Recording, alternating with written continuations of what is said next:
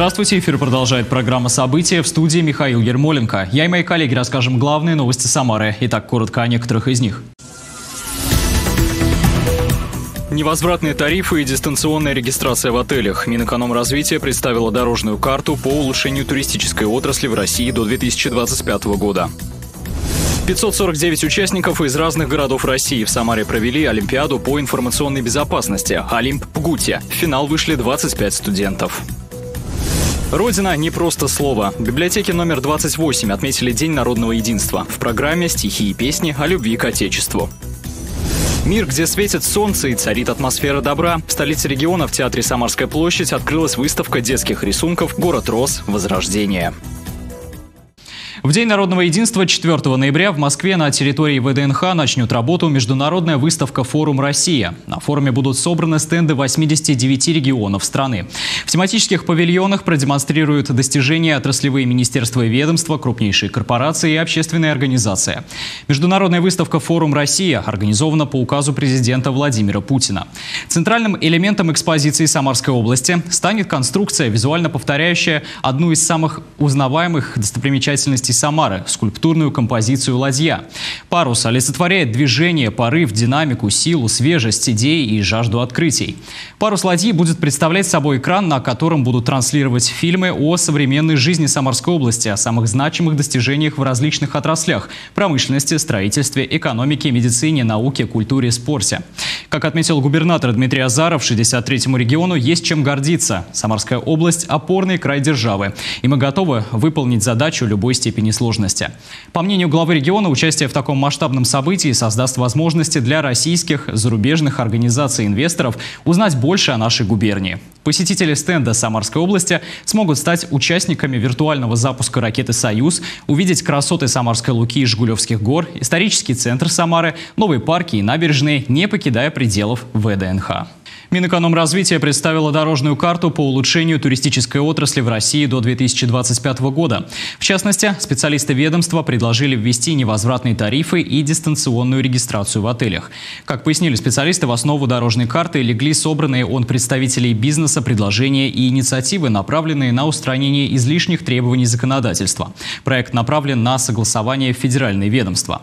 Предложения, которые содержатся в дорожной карте, это прежде всего инициативы туроператоров, отелей ательеров, людей, которые создают турпродукты и оказывают туристические услуги. Проект отражает интересы бизнеса и туристов, отметили в пресс-службе министерства.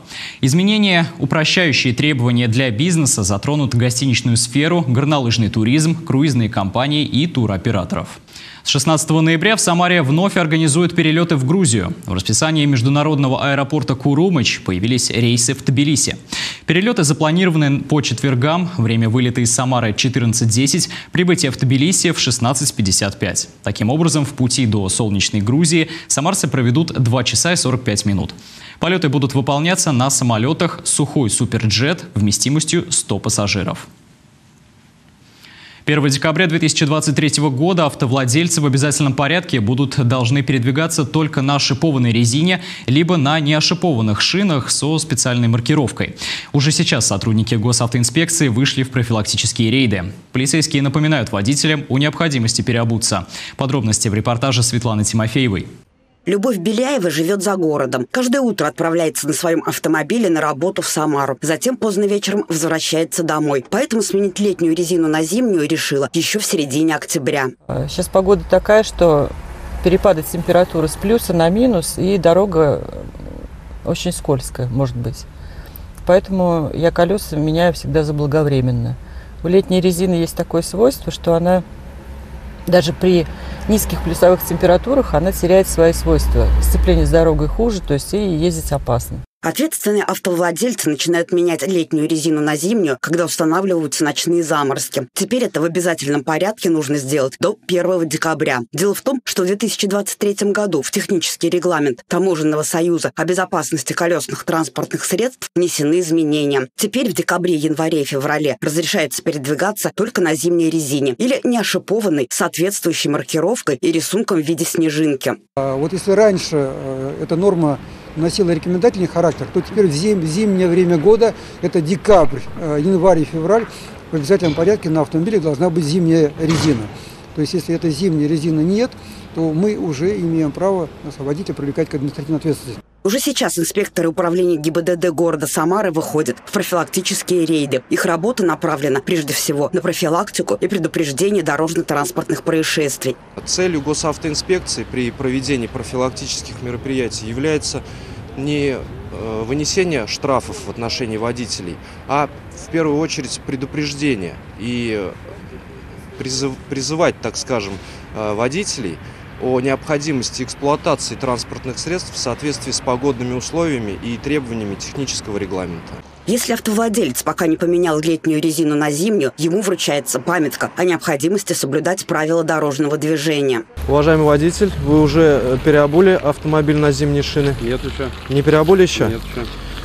Понятно. Ну, погодные условия, видите, какие? Конечно, Ночь, ночью, ночью заморские. Максим Андреевич, Записался завтра. госавтоинспекция призывает вас своевременно менять резину с летней на зимнюю для обеспечения безопасности дорожного движения. По новым правилам, соответствующие сезону шины должны быть установлены на всех колесах автомобиля. В противном случае инспектор вправе выписать водителю штраф. Он составляет 500 рублей. Административная ответственность для непереобувшихся водителей наступает с 1 декабря 2023 года. С этого времени контроль на дорогах города будет усилен. Светлана Тимофеева, Игорь Казановский. События. Отмечают юбилей с творческим размахом. Самарское художественное училище имени Петрова-Водкина, которому в этом году исполнилось 50 лет, запустило уже пятую выставку, посвященную круглой дате. В этот раз представили дипломные работы своих выпускников в галерее «Новое пространство». Андрей Горгуленко продолжит. Какие были ожидания от предстоящей жизни выпускников Самарского художественного училища Петрова-Водкина, можно увидеть в галерее «Новое пространство». Здесь к 50-летию учреждения открылась выставка дипломных работ, собранных за полвека. Здесь можно посмотреть как раз на то, как менялся взгляд. Или, наоборот, оставался прежним. а, От ребят 20-летних, вступающих в жизнь. То есть интересует что? Семья, здоровье, жизнь, любовь, отношения с родителями, своими будущими детьми. То есть вот это начало жизни. Открытие выставки сопровождалось творческими подарками и поздравлениями. Почетную грамоту и благодарности Самарской губернской думы вручил председатель Геннадий Котельников. Такие учебные заведения быть должны, где учат не писать, а писать картины, понимаете? Это творчество, это, это особый вид деятельности. Я искренне поздравляю всех и сотрудников, и обучающихся. За полвека из училища выпустилось более двух тысяч художников, дизайнеров и художников-преподавателей. Они уже многого добились, но вместе уверены, что впереди еще больше. Андрей Горгуленко, Игорь Казановский. События. Родина не просто слово. В библиотеке номер 28 отметили День народного единства. В программе стихи и песни о любви к Отечеству. На праздничном концерте побывала Светлана Кудрявцева. Россия,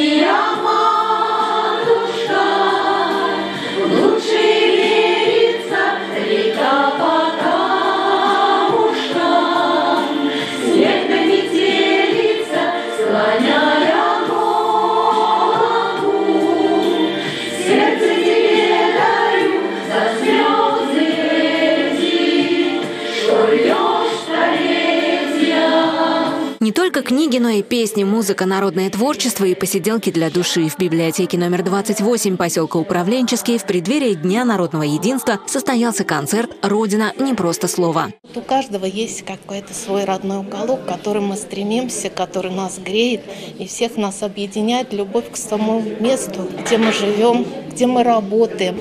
И родные люди, родина, как они слова похожи. Вот здесь мы как будто вот все родные. Когда к нам приходят на мероприятия, мы их проводим много. И вот говорят, как у вас уютно, как нам тут тепло. И вот ведь не каждого же можем назвать вот родным человеком. А вот в нашем таком коллективе сложилось, да и я знаю, что во многих библиотеках э, такие радушные люди, которые любят приходить на мероприятия. Для гостей подготовили творческую программу «Песни и стихи о любви к родине». Ты все одолеешь, тобою горжусь, в твой путь всей душою Отечество верю. Судьбу я тебе безоглядно доверю. Люблю я тебя, моя матушка, Русь. В библиотеке проходит много мероприятий, в том числе совместно с районным советом ветеранов. Здесь проходят утренние праздники со всем юными маленькими детьми. Здесь встречаются ветераны и с детсадовскими детишечками, и с младшими классами. Они как-то впитывают, как губка, все сказанное. Они как-то по-другому реагируют. Им все это интересно, глазенки блестят. Ну, а вот ветераны даже прослезятся. Разве это не важно? Это нужно, это необходимо, это очень важно. Для гостей праздника выступили ансамбли «Околица», «Камертон», «Семейный дуэт», «Родные напевы». Наши ветераны с удовольствием посещают библиотеку. Единство существует и у нас в районе, в поселке. Мы все очень тесно взаимодействуем. Всегда Россия была великая страна, Советский Союз был в свое время великой страной. И, конечно, важно нам передать это все нашим детям, нашему следующему поколению, чтобы они не забывали и гордились нашей великой страной.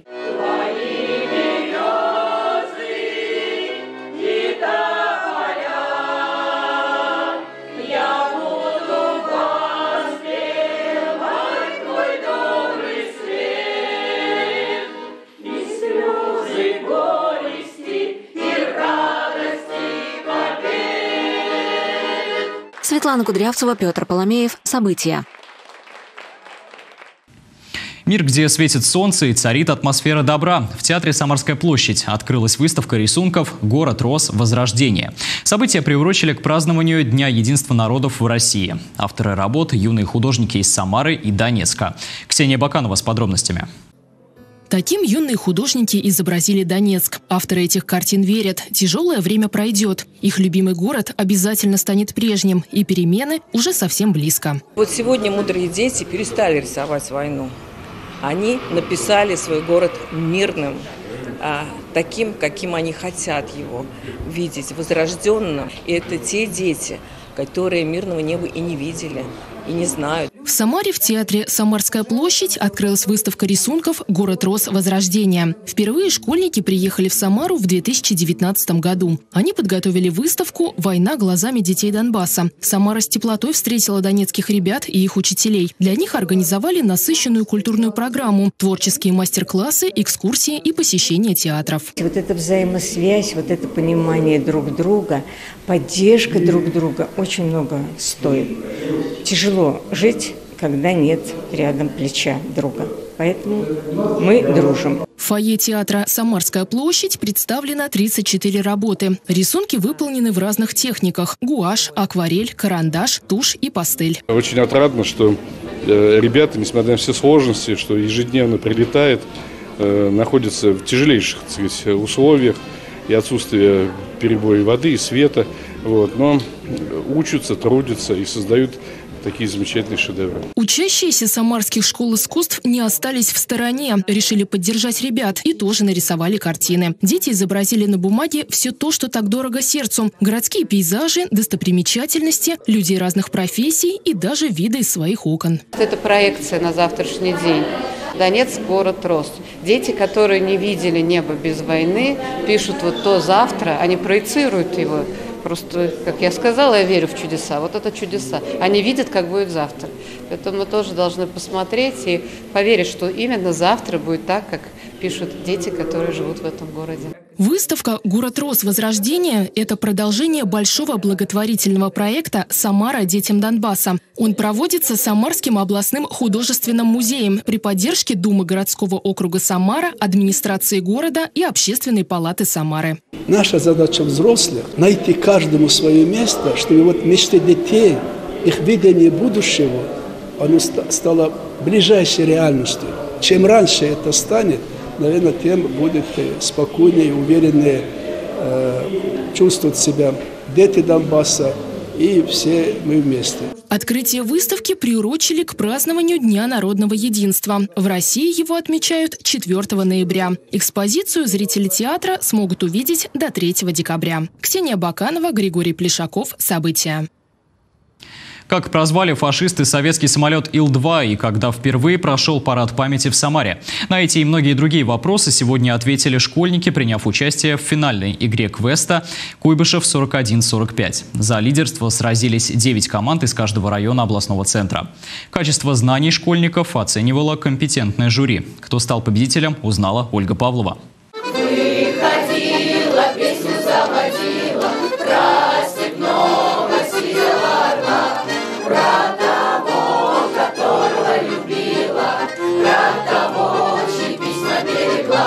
Под песней военных лет начинается финал квест-игры «Куйбышев 41-45». В этом году ее, как и прежде, посвятили событиям военных лет и параду памяти. За лидерство в 12-й школе города сразились сразу 9 команд из каждого района города. Участие в финальном квизе принял и ученик 110-й школы Артем Сергеев. К игре его команда готовилась основательно. Сначала ребята показали свои знания в первом этапе, ответив на вопросы викторины онлайн. Затем одержали победу во втором. И вот они в финале. Я считаю, это время нельзя забывать, потому что ну, много... Эта война затронула, ну, мне кажется, буквально каждую семью. То есть у каждого дедушки, бабушки, то есть все поучаствовали в этой войне, и это оставило отпечаток на каждом человеке. Мы думаем, что все ребята будут довольны, потому что много музыки, много интерактива, вообще очень интересно, тематически мы все заряжены. На чем выехал на парад 7 ноября маршал Ворошилов, как прозвали фашисты советский самолет Ил-2, и когда впервые прошел парад памяти в Самаре. Финальный квиз провели в три раунда, в каждом из которых ребятам нужно было набрать максимальное количество баллов. Оценивало игроков компетентное жюри, в которое вошли представители департамента образования и власти города. В этом году квест-игра прошла в Самаре уже в третий раз. Несколько лет назад из-за пандемии ее проводили в онлайн-формате. Сейчас очно. Куйбышев был одним из городов, который проводил парад.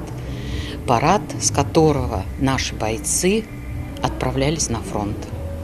Мы должны помнить это.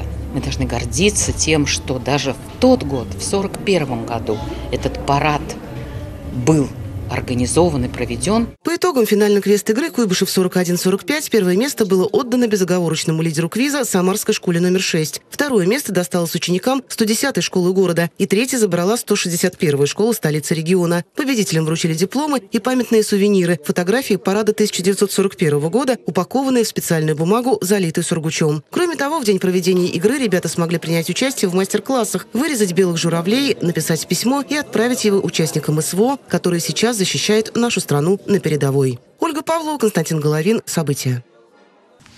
В одном из университетов Самары состоялось торжественное открытие финального этапа Олимпиады в области информационной безопасности среди учащихся образовательных организаций высшего и среднего профессионального образования.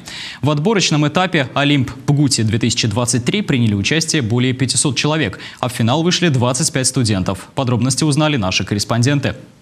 Инновационный подход в подготовке специалистов. В Самаре состоялся финал ежегодной Олимпиады по информационной безопасности. Участие позволяет студентам получить независимую оценку навыков и знаний, а также способствует вовлеченности в профессиональное сообщество специалистов по защите информации. Возрастает количество э, атак на те или иные объекты инфраструктуры информационной, возрастает количество инцидентов, так или иначе связанные с э, попытками несанкционированного завладения той или иной информацией, поэтому специалисты в области информационной безопасности все более и более востребованы. Сначала состоялся отборочный этап Олимпиады. Он прошел онлайн, и в нем приняли участие 549 человек. Им предстояло продемонстрировать навыки в различных областях информбезопасности, связанных с поиском различных уязвимостей информационных систем. В следующий этап вышли 295 студентов, а в финал 25 участников из разных городов. Анастасия Федорова приехала в Самару из Челябинской области, где вместе со своими однокурсниками прошла отборочные туры.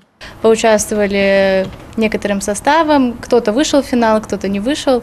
А, было интересно попробовать себя а, в чем-то новом, попробовать себя не дома за компьютером, а в новых каких-то условиях, решать задания интересные, получить какой-то опыт. Призеры финала получают не только дипломы и памятные подарки, но и возможность найти будущих работодателей. Победитель прежде всего получает возможность трудоустроиться а, в компании, потому что у нас сегодня представлено очень много индустриальных партнеров.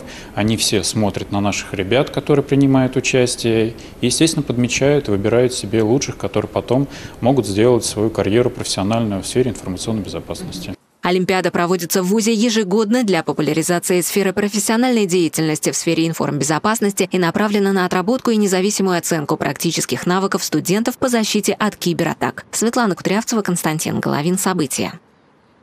7 ноября в Самаре пройдет традиционный парад памяти, посвященный событиям, которые развернулись в Куйбышеве в 1941 году. Тогда защитники уходили на фронт прямо с военного парада, проходившего на главной площади запасной столицы. Патриотическая акция проходит в Самаре с 2011 года. В этот раз главная тема – герои и подвиги. С утра 7 ноября на площади Куйбышева будут работать интерактивные площадки, музейно-выставочные экспозиции и полевая кухня. Запланирована также концертная программа. Само шествие Шествие начнется в 12 часов. В этом году по площади строем пройдут более 100 парадных расчетов, половина из которых – юнармейцы, кадеты, военно-патриотические клубы Самарской области. По традиции наш город в этот день посетят участники парадного прохождения из всех регионов Приволжского федерального округа и других субъектов России, в том числе из города Снежное Донецкой Народной Республики. Впервые в параде памяти будут участвовать расчеты из города-героя Бреста. Участниками парада станут у нас представители 20 регионов регионов Российской Федерации. Это лучшие парадные расчеты, которые приезжают к нам для участия в параде. Также в этот день состоится открытие выставки Семену Чернецкому, военному дирижеру, генерал-майору, который дирижировал сводным военным оркестром 7 ноября 1941 года и 24 июня 1945 на Красной площади в Москве. Кроме того, в преддверии Парада памяти в Самаре пройдет еще одна крупная акция. 6 ноября на четвертой очереди набережной состоится военно-историческая реконструкция, посвященная 80-летию освобождения Киева. Участвует более 300 человек, членов военно-исторических клубов России. Также будет присутствовать и историческая техника. На Парад памяти и на другие события, которые пройдут 6 и 7 ноября, вход свободный. Организаторы приглашают жителей и гостей города стать свидетелями одних из самых масштабных патриотических акций этого года. 的。Новогодние выходные в России в этом году продлятся дольше, чем обычно. Это связано с тем, что два последних дня года выпадают на субботу и воскресенье. Согласно статье 112 Трудового кодекса России, 1-8 января являются нерабочими праздничными днями в стране. Таким образом, продолжительность новогоднего отдыха составит 10 дней с 30 декабря 2023 года по 8 января 2024. По закону, при совпадении выходного и нерабочего праздничного дней, выходной день переносится на следующий после праздничного рабочий день, за исключением выходных дней, совпадающих с нерабочими праздничными днями с 1 по 8 января. Выходные дни, совпадающие с нерабочими праздничными днями, не переносятся автоматически на следующий после праздничного рабочий день. Согласно постановлению правительства России о переносе выходных дней в 2024 году, выходной день с субботы 6 января переносится на 10 мая, а с воскресенья 7 января на вторник 31 декабря 2024 года. Далее вас ждет обзор телеграм-каналов городской администрации и профильных ведомств. Вот о чем они писали сегодня на своих информационных площадках. Администрация Самары в телеграм-канале «Вести с Дворянской» рассказывает о том, что государство делает для участников СВО. Они могут получить страховую выплату в случае увечья или заболевания, полученного во время службы и в течение года после увольнения. Если установлена инвалидность первой группы 2 миллиона 348 тысяч 797 рублей, второй группы 1 миллион 565 тысяч 864 рубля, третьей группы 782 тысячи 932 рубля. Также в телеграм-канале указано, какие для этого нужны нужно предоставить документы и куда. Администрация промышленного района Самары приглашает жителей города принять участие в вопросе «Новая жизнь старой Самары». Старому центру присвоен статус исторического поселения. Это решение призвано защитить культурное и архитектурное наследие города и вдохнуть новую жизнь в развитие исторического центра. В настоящее время разрабатывается концепция развития исторического поселения. Этот документ должен задать стратегию развития территории с точки зрения функционального наполнения пространства и раскрыть точки роста для привлечения инвесторов. Одной из составляющих работы над концепцией является исследование мнения горожан. Для того, чтобы узнать, в каком направлении должен развиваться исторический центр города и каким функционалом обладать, проводится опрос жителей. Заполнить анкету можно до 19 ноября по ссылке, указанной на страничке телеграм-канала промышленного района. Департамент опеки, попечительства и соцподдержки в своем телеграм-канале напоминает, что родителям при рождении близнецов, двух и более детей предоставляется единовременная выплата. Необходимым условием ее оформления является постоянная постоянная регистрация одного из родителей и детей в городском округе Самара. За оформлением выплаты одному из родителей нужно обратиться в любой офис МФЦ. Также оформление выплаты доступно на региональном портале госуслуг. Подробную консультацию можно получить по телефону, указанному на экране. На этом выпуск подошел к концу. Продолжайте следить за актуальной повесткой на официальном сайте Самара ГИС, в нашем телеграм-канале, на страничках ВКонтакте и Одноклассниках. Выпуски программы смотрите на видеохостингах и в социальных сетях. Всего доброго, до встречи.